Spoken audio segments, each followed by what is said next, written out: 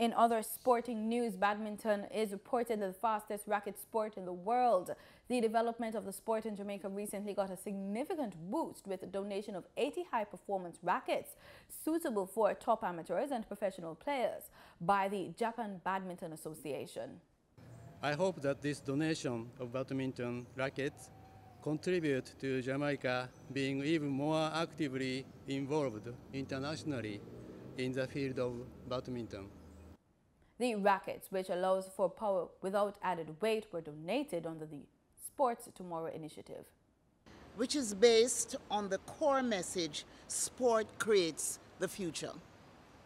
This initiative aims to expand to people of all generations sporting values associated with the Olympic and Paralympic movement so as to produce a better future of the world. In Jamaica specifically, this initiative carries with it the desire to create a long-lasting legacy in badminton by increasing its popularity and reach, and in turn support the Olympic efforts of the sports players.